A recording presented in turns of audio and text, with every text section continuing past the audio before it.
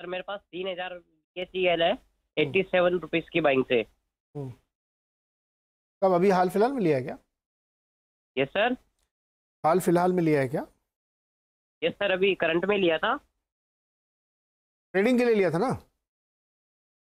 Sir long term के लिए रखा था इसको। अच्छा लॉन्ग टर्म के लिए। सर लॉन्ग टर्म के लिए बीएचएल कैसा है? सत्तासी रुपये खरीद रखा है। देखिए अगर इनका लॉन्ग टर्म बारह महीने प्लस है तो तो फिर भी ठीक है। अगेन ऑलमोस्ट वही केस हो गया यहाँ पे कि ऑलमोस्ट जाके लास्ट का जो इमोशन होता है ना, उसमें जो आप जाके एकदम लास्ट में, पहले वेट करते रहते हो, एकदम लास्ट में जाके आप ले लेते हो। तो आई थिंक यहाँ पे भी वही केस है ऑलमोस्ट उन्होंने एक medium term swing top buy कर लिया है।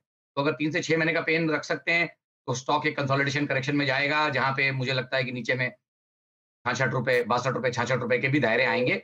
बट ओवरऑल ट्रेंड इसका पॉजिटिव है। अगर ये बारह महीने प्लस की बात कर रहे हैं तो आई थिंक जब तक बासठ के नीचे नहीं जाता डिसाइसिवली तब तक वो लॉन्ग टर्म ट्रेंड इसका अप है और वहाँ पे इसको सपोर्ट्स आ जाएँगे आइडली तो आई थिंक अगर होराइजन लंबा है तो ट्रेंड में बने रहे।